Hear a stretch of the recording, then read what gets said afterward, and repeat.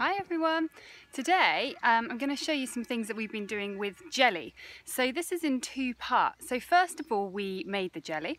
Um, loads and loads of talk about uh, dissolving with this. So I just use little sachets like this, just gelatin and you can follow the instructions on the pack.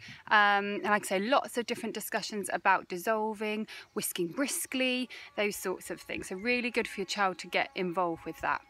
Um, then what we did was we put lots of different flowers in our jellies, but you could set um, little toy animals, you could little people, whatever you want really. We just went on a bit of a nature walk first of all, finding as many different flowers as we could, which we could set in.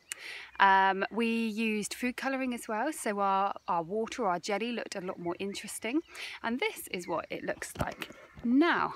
So the second stage, you can see some of our jellies so you can see the flowers in there. This is probably an easier one um, for you to see. You can see the flowers set in to the nice wobbly jelly. So loads and loads of discussion about, um, this one broke a bit, loads of discussions about colours, about different flowers, about um, the texture of it.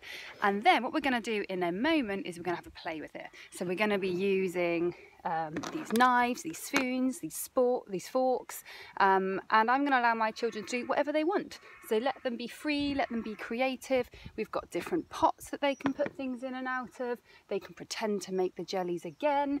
I don't mind. I'm going to just let them play let them explore and see where they go with it. Have fun